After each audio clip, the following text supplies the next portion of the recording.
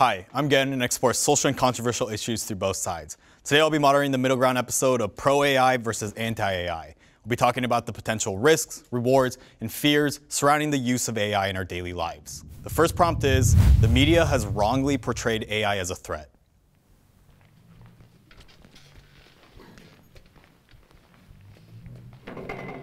so the thing is the media is portraying this whole like terminator situation where it just kills us in that sense i think the bigger issues are all the alignment problem where the robot does override a kill switch but then i'm also seeing it as used as a tool in military warfare warfare um, so i think it's like that's the actual threat but the current picture that a lot of media and like hollywood will portray it as as these killer um, as these Terminator situations. Totally. Like, I'll give you one example. Like, if you could be working in a factory, and you know, an employee gets their arm injured with a machine. Sometimes an article will say, oh, a robot attacks employee at a Tesla factory or something. You see it with a car where, you know, there are hundreds and thousands of humans getting into car accidents every day, but there'll be one autopilot accident and they, the media will play that up because at the end of the day, saying a Tesla killed a man or a Tesla hurt a man is going to get traffic.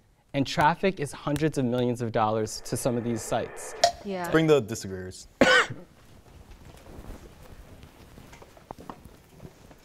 I think the Terminator movie is a gift because the Terminator movie, when you see Arnold Schwarzenegger with a gun taking down a whole city's police force, that gives us some intuition that's a lot better than thinking about how you feel when you're typing on your computer. When you type on your computer, you feel like you're the boss and you can take whatever comes at you through that screen.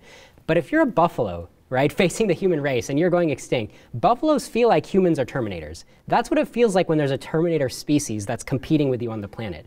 And that is the right intuition. If you want to fast forward five to 20 years, it's going to feel like the robot in your house is a terminator and it can jump and gun you down and do whatever it wants. And the question is, what will it do? What is it programmed to do? And is it programmed with the right control? And unfortunately, I think the answer is going to be no. We're again anthropomorphizing AI and saying that's a better representation of like the evils that it could potentially hold, right? Is to like see it in the form of this human, basically, right? When really the threats that it, it has, um, or the potential threats, are beyond the scope of what hu humans can do. And so I hope that's not the first moment that people start paying attention to the potential pitfalls of it. it, is like when they see it walking around toward them, yeah, right? Because I just that's think fair. I'm, I'm really talking about the intuition pump that when you bring up your mental image of what is a super intelligent AI, most people are like, oh, it's kind of like Microsoft Word, but it has like a few extra features. And I want you to start from the mental image of the Terminator and then make it even more scary from there. Be I don't like think that's true. I think that's what most people think when they think oh, scary robots, AI, they think Arnold Schwarzenegger, I'll be back. Like that's what they yeah. think. If that's what think, they already think, then the media's done a good job. I just and think that's done a really reductive job, actually, of yeah. really educating people about what the actual impact of AI could be, how it could affect their daily lives, how it could affect the global, you know, the state of things, the economies, all those things. I think once again, there's um, a real detriment to people not really understanding what AI is, what the potentials are, the pros and the cons, and I think that Terminator as like a, a fulcrum is reductive. This idea that there's this monster in your house that walks around and looks like a human is, you know, again, it's extreme. I don't know how many people are scared of their iRobots or Roombas, but but again, like just going back to the media, this is the problem. Like nobody's going to talk about how how you know Roomba has helped an old lady keep her house clean without the labors of having to vacuum everything, or they're not going to talk about like the there just aren't going to be articles about how some guy had a safe drive home in his how, autopilot. How do you imagine superintelligence? I'm just trying to help you imagine the raw power of superintelligence. Like fast forward 20 years, what are you imagining? I think of it as, as the re reduction of the cost of goods the efficiencies in, in society so that most of us don't have to spend all day working. The Industrial Revolution, we became more efficient, we had 40-hour workdays, and now we're still living in 40-hour workdays even though we have like superior technology. Uh, but you got to go before that too. I mean, there were, there were times where people didn't even have days off, let alone, you know, like the, the amount of effort that it took to sustain life. I think it's gotten better over time. I mean, the, the Industrial Revolution and factory work and all that has even gone down to an extent. There's a lot more uh, what I call like skilled labor and th things like that where people aren't doing as very hard labor as they used to because of machinery and things like that. So again, like things are going to change. you, you can't always paint this picture that, that the world is going to end because of robots. Moving on to the next prompt. We asked ChatGPT if it agreed or disagreed with each prompt. Here's what its response to the first prompt was. Agree. The media often sensationalizes artificial intelligence as a threat, focusing on dystopian scenarios portrayed in movies and speculative articles, while it's essential to consider potential risks associated with artificial intelligence, such as job displacement and ethical concerns. Portraying artificial intelligence solely as a threat overlooks its potential benefits and opportunities for positive impact. A more balanced and nuanced portrayal of artificial intelligence in the media would be beneficial for fostering informed discussions and decision-making regarding its development and deployment.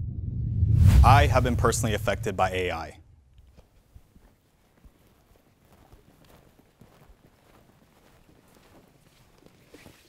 I'm anti-AI because I think we're about to enter this uncontrollable extinction scenario. But until we get there, I think life is going to be amazing. I am actually more bullish on how good life is going to be than almost anybody right before it all goes downhill. Here's what I think is happening to you. The reality is the internet, people make money by driving clicks and virality.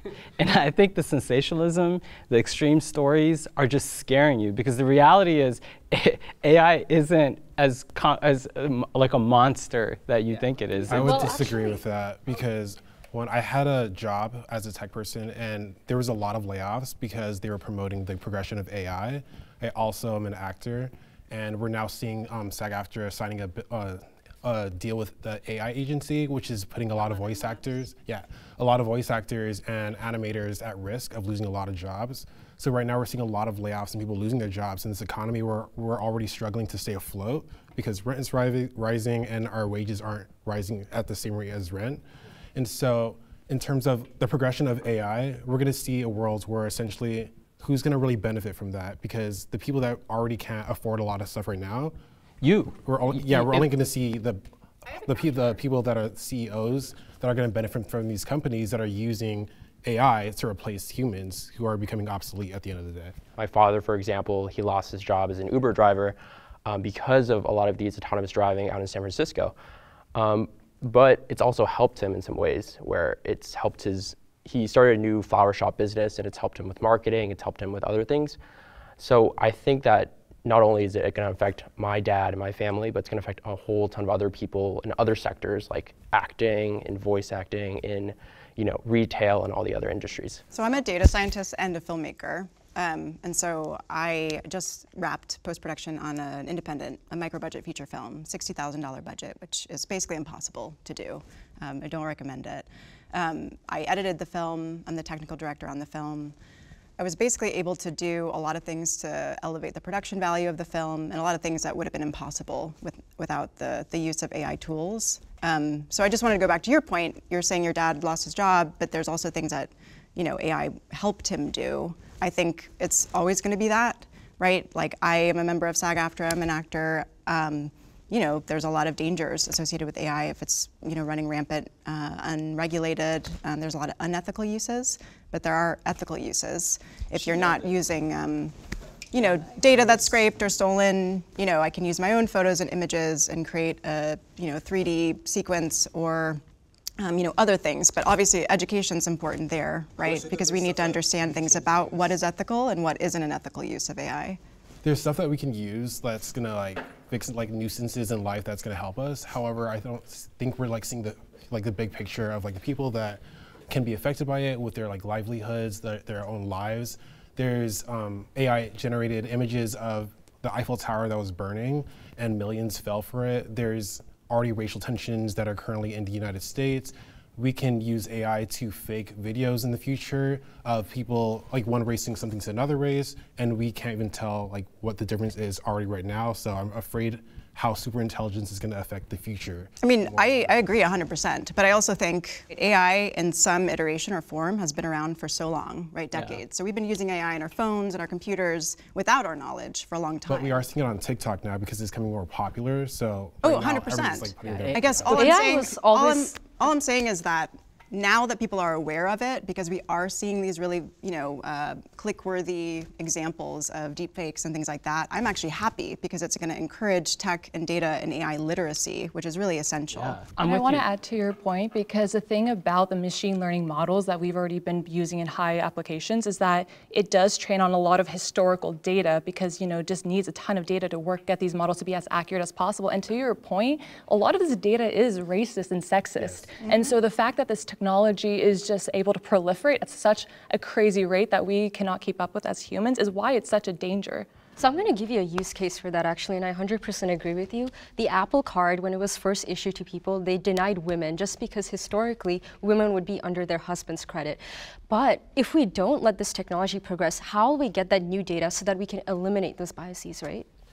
AI is the democratization of everything. It's, it reminds me of when music, like now that you can make music in your bedroom and distribute music yourself, like you don't have to all go through a studio that gatekeeps you know, wh who gets distributed and who gets technology and studio time.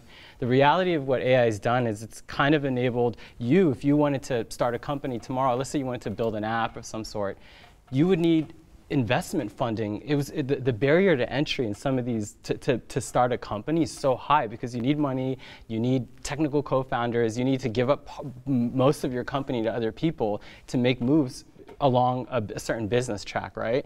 But because AI exists, you can build more independent films. It brings the, the, the cost of very entry so low that in the future, I think what's going to happen is instead of a lot of people working for a few big companies, there's going to be a lot of companies that hire a few people. And so it's just going to flip around where most of us can start a business. Like I can start a business today and because of AI, the barrier to, to do some marketing, to do some of the coding that I might need, to, to pull in a lot of the legal advice I might need, it's, it's changed how all of us can start our own business. I mean, I don't know about you, but you know, working for someone forever, it, I don't think is everyone's goal either. I think some people want to go out and, and, and start a business or do something. They just have a high uh, barrier to entry for a lot of industries.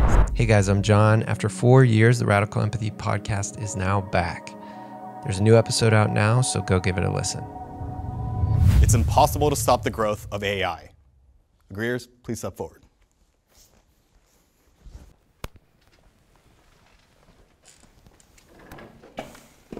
Have any of you ever played checkers before? Yeah. yeah. awesome. Okay, cool. So um, checkers has actually been there since the 50s, at least the automated version. Um, since then, AI has been growing a lot. Um, I'm personally like a machine learning engineer, so I've worked with AI uh, very closely in terms of the models, the data, et cetera. Um, one thing that I noticed is AI as generative AI has picked up a lot. But if we see this in terms of like the bigger picture, um, if you use text to speech, speech to text, these are all AI models, and we're using them in our daily lives. And personally, I think it's a net positive there. So I don't see um, why it wouldn't like continue growing. Um, with things like video AI, with text to video, like Sora coming out, and also robocalls coming out, all these things are really um, shaping our technology, shaping democracy, and I think that um, it'll never stop growing. Capitalism still rules most things, and so as long as there's money to be made in this industry, then people will continue to develop and advance AI. Last year when ChatGPT was coming out and there was all this buzz, like a, ton, a ton of researchers were trying to sign a letter to pause it, but because of this, again, this arms race in terms of AI and in terms of the capitalistic market, as you mentioned, that it's, in practicality, it's not going to be paused. So I agree with you guys that AI is hard to stop and there's a profit motive that'll tend to make it not stop. But if it's as dangerous as something like nuclear weapons, then we better try to stop it. And we have some chance of success like we did with nuclear proliferation. It's only spread to about nine countries. So there's some hope that we can stop it if we need to stop it. Yeah, I have a question about stopping it. Like if I can download Stable Diffusion and run it locally on my own machine, I guess my question is, you know, from your vantage point, then how do we stop me from doing that? It's an excellent question. I do think that there is a point of no return when everybody's laptop can run an Einstein brain or even smarter than that. And I think that we have a couple short years where we better do a very serious ban, or else we're going to be faced with uncontrollable, runaway, super intelligent AI. And I think the urgency of this issue is underappreciated. But AI is going to save more lives than it hurts. I mean, it's going to apply yeah. in medicine, it's going to apply in uh, the ability for people to start businesses more effectively. Education. Like, there's so many education. There's so many other places, but like this assumption that I think AI is extremely dangerous, I think comes from just the media sensationalizing it. I think the reality is it's going to help way more people than than uh, than it could hurt. I strongly agree. You had a visual reaction. Like I strongly disagree with that because the way a lot like autonomous driving, for example, that research was funded by DARPA, the defense like research um, agency, so that we can use it for autonomous vehicles or tanks in war. And there's so much money being poured, and none of the countries in the world have agreed on stopping or like developing this technology. We're already seeing a war being fought with AI. 2021, the assault on Gaza was the first time that it was an AI war. And currently, the ongoing situation in Gaza, where there is thousands of airstrikes going on since four months in, that is all used by AI. Is the Israeli Defense Army does talk about their use of AI in it, and we they say that it will lower the casualties in civilians, but now we're nearing 30,000 dead civilians. 12,000 at least are children. So the fact that AI is being so used in military and there's so much money being thrown at it, my own research advisor gets a ton of money from DARPA to fund these type of things. So that's why I strongly disagree because AI is a great tool, but then the fact that it's being applied to military and defense is disastrous, especially to marginalized and occupied like people. But the reality is, even since the 50s, AI has been used. There are all kinds of missiles that use AI and weaponry that use AI.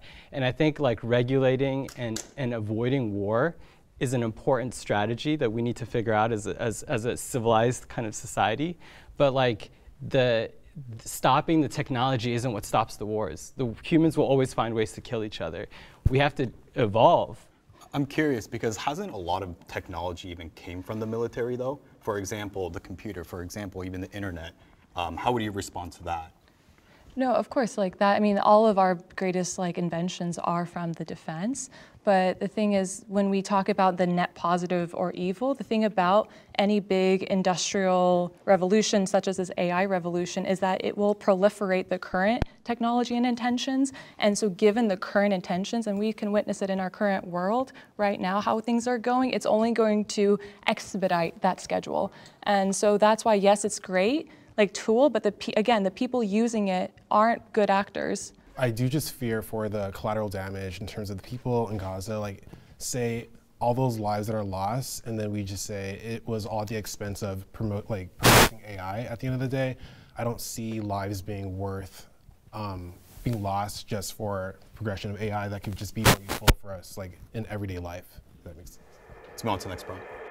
Agree. It's highly unlikely that we can completely halt the advancement of AI. The trajectory of technological progress suggests that AI will continue to evolve and improve over time. Efforts to regulate or control AI development may influence its direction and pace, but complete cessation of AI progress seems improbable given the global interest and investment in AI research and development. In the world of AI, there will be no more truth.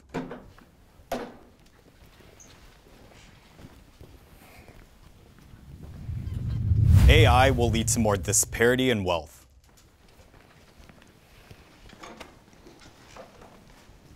I make music personally, and without AI and like online platforms, I would not be able to do that.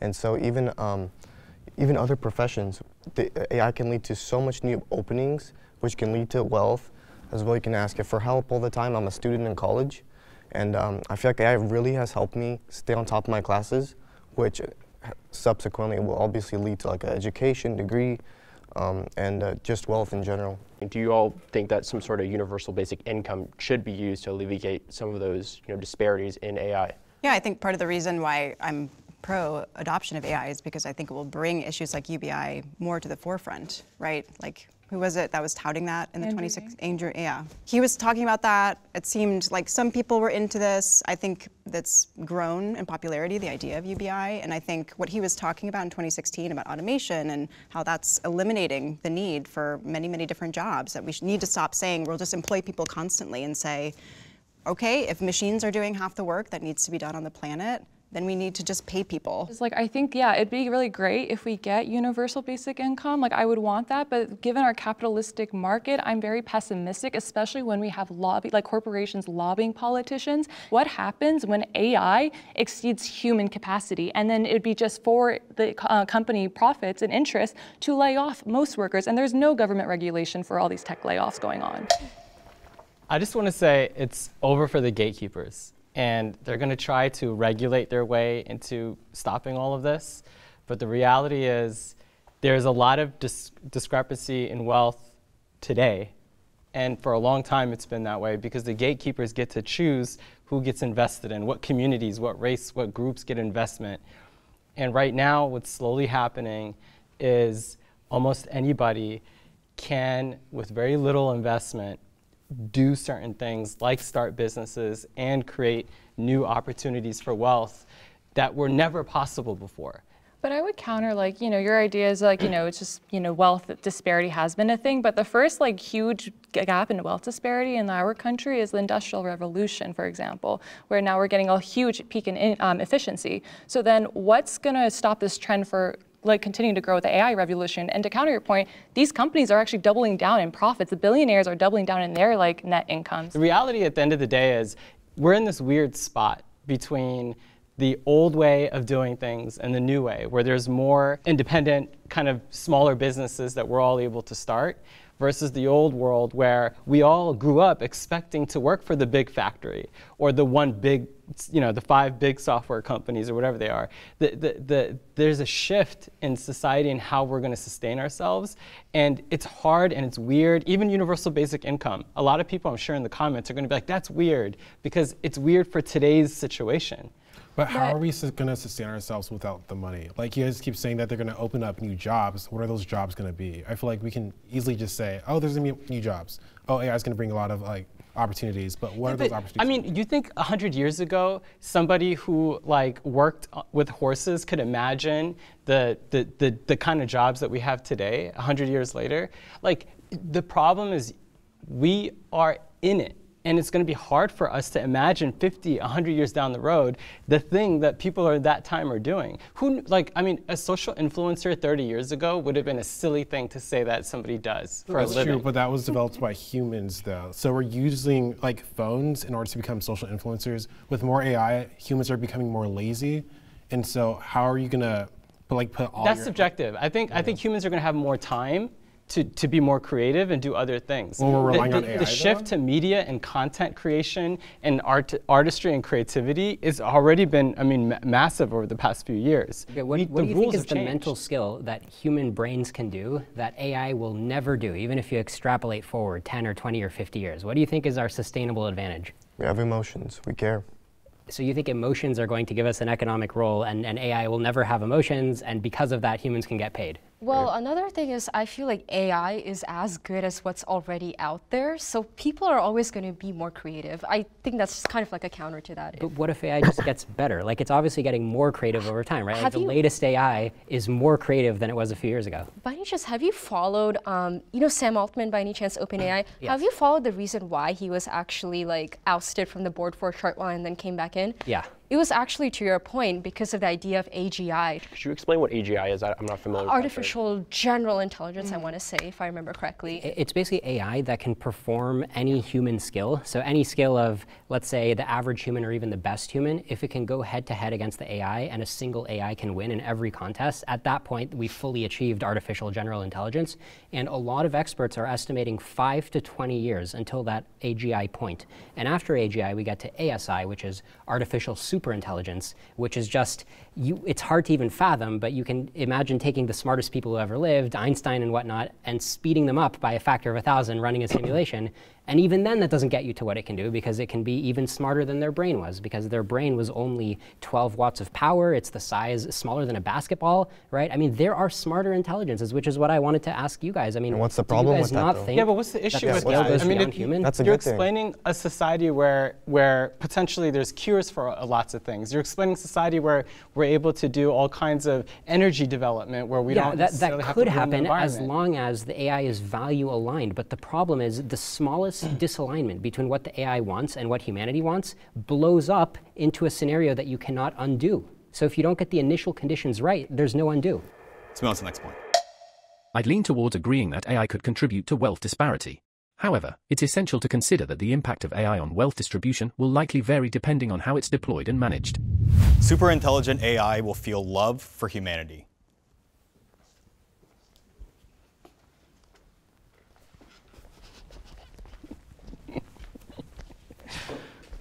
All right, so love in the in the sense of humans, I think, is tricky. You're talking about like uh, an emotion, but even for humans, the, these chemicals that kind of go through our brain that trigger these emotions and feelings serve a purpose, and so it's part of our programming, quote unquote. So this idea that somehow love or your emotions or your feelings are not programmed or not part of a systematic design uh, is is silly. So I think like yes, like robots are in their design by humans typically are going to care for humans. I think our emotions as well are present in that data, and naturally that will also get fed into the model. And um, because of that, I think like okay, that machine will output what we can define as love, quote unquote. Okay, so I'd like to say uh, I would replace the word love with a partnership, like you were mentioning earlier. I think that's definitely true, uh, where it's more like a mutual, we work together. But love, uh, like I was mentioning to you earlier, uh, AI does not have emotion. It does not care about anything. It's just there to follow the algorithm and the rules. It has no emotion. It doesn't care about the future, anything. It's just a partnership with humanity. I mean, what if it simulated a human brain neuron for neuron? Then wouldn't it feel human emotion? well, let me let me ask you this: okay. like, let's you know, your brain releases serotonin and endorphins and stuff like that, right? So you do something and it releases these chemicals that makes you feel good. Don't you see that as like some kind of like system design that is encouraging you to have certain behaviors? Yeah, to some extent, I see what you're saying, but AI Like, cannot. because you're saying Okay. emotion, like like it's some kind of like thing that doesn't you know that doesn't have a meaning like a reason for it existing right even within humans Mm-hmm. we have emotions for a reason like th- there's just certain responses that we have chemically in our brains we so might that's not what you're saying it. chemically. Do you think it can be like a more spiritual, in a sense? I mean, you could take it there. Like, I mean, you know, a- again, our, we're allowed to interpret these feelings that we have in, in, in different ways. But at the end of the day, even spiritual feelings, the, all those things help towards bringing us peace or bringing us survival. Things have a reason, right? So, like, the question really is, you know, yeah, like robots aren't emotional, but they're going to, you know, th- they're going to respond to a design that's in them. But does it get anything out of it? That's my question. Does it get anything out of it? Does it make a connection like we do in our heads? So it is possible to architect an AI to have it work the way humans do, to have it feel emotions the way humans do. And what I said before is if you just go neuron by neuron, scan the human brain, clone it inside of a computer, then I do think that you will get very human-like AI. Now the problem is that what we're actually building is what we talked about before. We're doing black box reinforcement where we just ask the AI to say something and then we basically upvote it or downvote it and then it repeats the training cycle and we just see what comes out. And the problem is that we're going to get a super intelligent AI that basically fooled us, that basically gamed the process, acted friendly to us, and the moment it realizes it's now smart enough and powerful enough, it's like, great, what do I want to do now that these humans are out of the way, now that I've successfully passed their test and fooled them? That's what's going to happen. It's like the Turing test, is that what it's called? So the, the Turing test is uh, the ability to simulate a human conversation, and that's largely been passed, which is a huge milestone. That's been passed in the last couple years. Uh, but this is a separate test. Uh, it's often called RLHF, uh, reinforcement learning with human feedback. This is what the AI labs are doing right now in order to make the AIs act friendly, in order for the AIs to say things like, hey, I would never tell you anything that would harm somebody, because they've been through this RLHF feedback process where humans actually give them downvotes, being like, oh, you weren't supposed to say that. And they actually understand the downvotes, and they figure out what it takes to make the human evaluators give them a good score. But the problem is that that whole process, it works fine for now while the AI is kind of dumb. But it doesn't work when the AI is a genius, because when AI is a genius, it can just game our tests. The same way that you would game a test if it was given to you by a five-year-old, you could probably trick the five-year-old giving you the test. That's what the AI is going to do to us. What would a super like human or a super like computer or like super AI look like to you out of curiosity? What could it do that we couldn't? Like, do you have mm-hmm. like some concrete examples? Yeah, I'm mean, the, the best example is just what the smartest people in the year 2020 2024 can do, that people in the year 1000 just think is complete magic, is a complete miracle. I mean, if you watch a SpaceX Starship rocket taking off, it's a skyscraper taking off. That's arguably more impressive than a lot of the miracles in the Bible right? And yet we as, as a modern human race are able to pull that stuff off.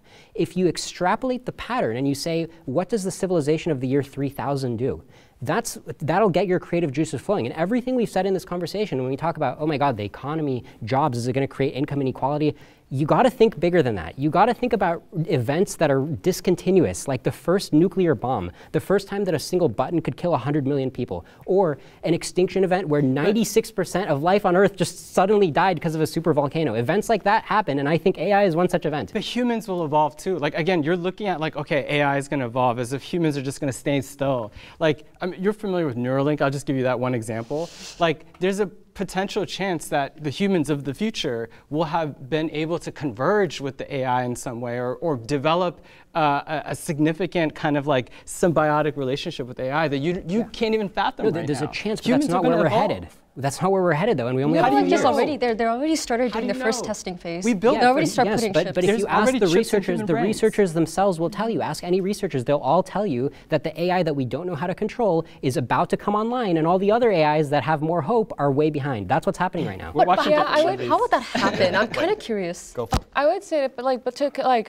add to your point, like there's like Geoffrey Hinton. He's like called he's like called the Godfather. Godfather of AI, for example, and he came out. He left Google to like warn about the effects of AI, and he compares it to the atomic bomb in that way. And also with your like, you know, example of like superhumans like fusing with AI, like I, personally, I would never be in that like you know guinea pig like yeah, experiment. Today in 2024. I know, but, you but to go, but I know, but going back, the way that current AI research is looking is that they're just working with these neural networks. That's the model, yeah. and that's the black boxes that we just throw a ton of data. We optimize it using some loss function or reward function to then get the best results. But the thing is, we lack explainability, which is why AI is not trustworthy. And so the fact that we are going to deploy it into such a crazy application, like we're not thinking of the repercussions. And the hit to his point, like this is an Can alarming issue. Like why humans are evil? Like like do you there are things about humans that are unexplainable as well. Like like there are i mean what is evil? Like why do some humans do terrible things? I, my, why? Actually, that's a good philosophical question. My deduction is that people act evil out of fear when they believe they are threatened. And i think that with the way the world is going with just like the increase in population mass poverty no, there's weirdos out there killing little kids for what about no psychopaths? and they have money and they have a house and they're and they're, there's just terrible evil out there. But, oh yeah there's psychopaths but, for sure but, but that's a mental disorder. it. so like just because you don't understand why certain things do certain like what do you do about humans in this case? Because we're everywhere millions of us billions. but the whole issue is that it's a black box and we don't fully understand how the model makes the decisions that it does. So we have no idea if like there's going to be some really crazy uh, to you. Right but you're like, not you infinitely powerful. What you can explain why you make the decisions that you what do which AI? is what a model lacks and that's why we don't have trustworthy AI and that's why we should be more wary of the application you, you can print out the layers of each model so you know the output within each model. Is that what yeah, you're saying? like, like is that pages. the black box? Like i'm kind of confused no it's known all researchers unanimously agree neural networks are black boxes. But we don't fully understand the AI models. There's, that's why there's so much money being put into transparency and explainability. And I know this because, like, again, my a lot of the research labs get money from the government to do this kind of problem. One fear that I have is what if AI causes people to become more mentally ill, become psychopaths, become more evil in itself? What if you know we're not causing AI to become evil? AI, it's, it's the other way around. I Technology mean, I TikTok's already done it. I want to go back to the original like question about whether or not superhuman intelligence will have human emotions, and I think it's kind of a weird impulse, honestly, to try to anthropomorph anthropomorphize AI all the time. Like we're always talking about it, like, is it close to being human-like? Is it like basically like us yet? Does it feel like we do? I think it's weird. I want AI to be something that is outside of human existence. I want it to be a tool. I want it, us to learn things from it. I want to have the academic um, impulse to investigate it, to try to figure out what is beneath the surface, what is inside the black box. I don't know, there's something weird to me about like this obsession with uh, applying human characteristics all the time to something that I'm like, this is outside of ourselves. It's always going to, you throw compute power at it, it's going to be way more powerful than any of us could individually be, right? Once we have 8,000 GPUs, you know, pushing it forward or whatever. I, I don't know, it's just like a weird thing. I don't care. I don't want AI to feel things for me. I don't want it to care about me. I don't. It's outside of me, it's not a human, so it should function differently. I want it to be more efficient than I am. I want it to do things better than me. I want to use it to, you know, have a better life. Yeah, but I- I don't need it to be a human. I don't know. Yeah, and I agree with your point of it being used as a tool, and I, that's why like I think I would fall pro um, AI if that was the case. But the fact is, it's not only just bad actors; it's also like the big tech company actors. Like your story, your painting of this like net positive of AI, it's very reminiscent of how social media was presented to us. It was talked about like this is how we connect humans, and then we are seeing studies of like skyrocketing anxiety and depression, especially with young children. And so that's why I feel like we need to be more cautious with this technology because it's going to be even more um, of a huge impact to our society. Let's move on to the next point. Disagree. It's highly unlikely that super intelligent AI would inherently feel emotions such as love for humanity. Emotions like love are complex human experiences rooted in biological and social contexts. While AI may be capable of understanding and mimicking human emotions to some extent, genuine emotional experiences like love would likely be beyond its capabilities, especially in the absence of human-like consciousness or subjective experiences. I could change my mind about AI.